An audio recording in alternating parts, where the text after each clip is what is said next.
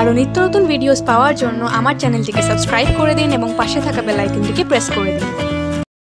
Hello friends welcome back to my channel আমার চ্যানেলের আরেকটি পর্ব দেখার জন্য আপনাদের সবাইকে ওয়েলকাম জানাচ্ছি। আজকে আমি আপনাদের সাথে পুরোপুরি নিরামিষ আলুর দমের রেসিপি শেয়ার করছি। আর এটা আপনারা ফ্রাইড রাইস পোলাও বা রুটি, লুচি, পরোটা আর ঠাকুরের ভোগের জন্য এই রেসিপিটা তৈরি করে নিতে পারেন। তাহলে চলুন আজকের এই রেসিপিটা আমরা দেখে নিই। আমাদের আজকের এই আলুর দমটা বানানোর জন্য এখানে আমি নিয়ে নিয়েছি প্রায় ছশো গ্রাম মতো মাঝারি সাইজের আলু। আর আলুটার খোসাটা ফেলে দিয়ে এগুলোকে এইরকম দু টুকরো করে কাটা আছে। আর এই আলুটা আমি খুব ভালো করে ধুয়ে নিয়েছি। এখন আমি প্রথমেই একটা মশলার পেস্ট রেডি করে নিচ্ছি। এখানে নিয়ে নিয়েছি আমি এক ইঞ্চি মতো আদার টুকরো, একটা মিডিয়াম সাইজের টমেটো আর চারটে কাঁচা লঙ্কা। ঝালের পরিমাণটা নিজেদের স্বাদ মতো দেবেন। সামান্য পরিমাণে একটুখানি জল দিয়ে একটা স্মুথ পেস্ট রেডি করে নিচ্ছি। এখন গ্যাসে একটা কড়াই বসিয়ে দিয়েছি। দিয়ে দিলাম এর মধ্যে বেশ কিছুটা সর্ষের তেল। এখানে আমি প্রায় তিন টেবিল চামচ মতো সর্ষের তেল দিয়েছি। এবারে এই তেলের মধ্যে ফেলে দিলাম সামান্য পরিমাণে একটুখানি লবণ।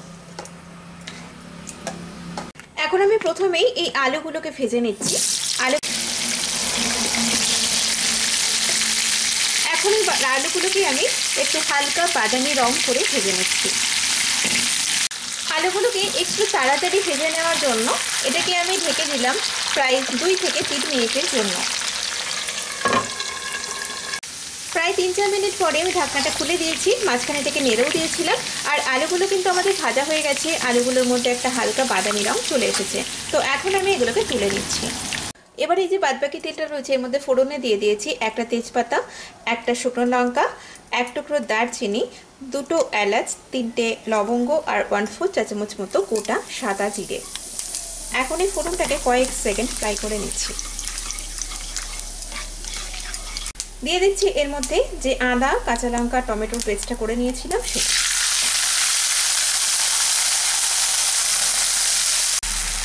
এখন এই মশলাটাকে আমি দেড় দু মিনিট একটু কম আছে, ভালো করে কষিয়ে নিচ্ছি যাতে আদা টমেটোর কাঁচাটে গন্ধটা চলে যায়। প্রায় দেড় দু মিনিট হয়ে গেছে, মশলাটাকে ভালো করে তেলের মধ্যে নেড়ে নিয়েছি। এবারে কিছু গুঁড়ো মশলা দিয়ে দিচ্ছি। দিয়ে দিচ্ছি এর মধ্যে একটা চামচ জিরে গুঁড়ো। একটা চামচ দিয়ে দিলাম ধনে গুঁড়ো। হাফতে চামচ রেড চিলি পাউডার। হলুদ গুঁড়ো দিয়ে দিলাম হাফতে চামচ একটু সুন্দর কালারের জন্য দিয়ে দিলাম হাফ চা চামচ কাশ্মীরি রেড চিলি পাউডার। দিয়ে দিচ্ছি এর মধ্যে স্বাদ মতো লবণ।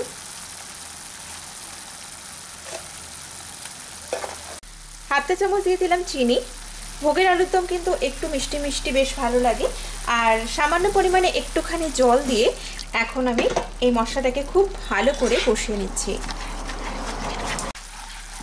এই মশলাটা আমাদের খুব ভালো করে কষানো হয়ে গেছে। মশলা থেকে বেশ তেলও ছেড়ে এসেছে। এবারে এর মধ্যে আমি দিয়ে দিচ্ছি প্রায় এক টেবিল চামচ কাজু, বাদাম আর পোস্ত বাটা। একসাথে আমি পেস্ট করে নিয়েছি। এখন আবারও এই মশলাটাকে আমি দুই থেকে তিন মিনিট ভালো করে কষিয়ে নেব। এই মশলাটা আমাদের কষানো হয়ে গেছে। খুব সুন্দর একটা কালার চলে এসেছে আর মশলা থেকে বেশ তেলও ছেড়ে এসেছে। তো এবারে আমি এর মধ্যে দিয়ে দিচ্ছি চা চামচ মতো গরম মশলা পাউডার এখন এর মধ্যে আমি ভেজে রাখা আলুগুলোকে দিয়ে দিচ্ছি। আলুগুলোকে মশলার সাথে কষিয়ে নেব।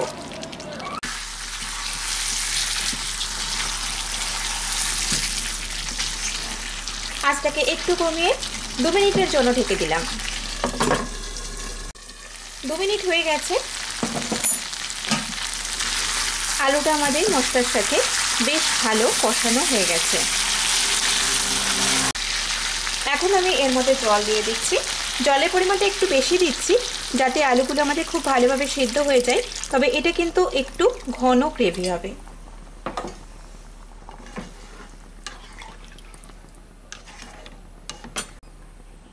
এখন এটাকে আমি প্রায় দশ থেকে বারো মিনিটের জন্য ঢেকে দিলাম। আঁচটাকে একটু মিডিয়াম ফ্লেমে রেখে। প্রায় বারো থেকে পনেরো মিনিট হয়ে গেছে, এটা ফুটছে দেখুন, ঝোলটা কিন্তু অনেকটাই বেশ শুকিয়ে গেছে আর আলু কিন্তু আমাদের সুন্দরভাবে সেদ্ধ হয়ে গেছে। এখন আর একটা উপকরণ আমি রেডি করে নেব, যেটা আমি এই আলুর দমটা নামানোর আগে ব্যবহার করব। এখন একটা হাতের মধ্যে আমি দিয়ে দিলাম এর মধ্যে হাফ টেবিল চামচ মতো ঘি।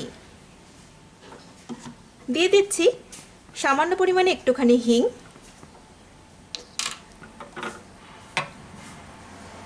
এখন এই আলুর দমটা নামানোর আগে এই মিশ্রণটা আমি দিয়ে দিলাম। আর আপনারাও অবশ্যই এটা দেবেন। তাহলে দেখবেন আলুর দমটাতে কিন্তু একটা আলাদাই টেস্ট আসে।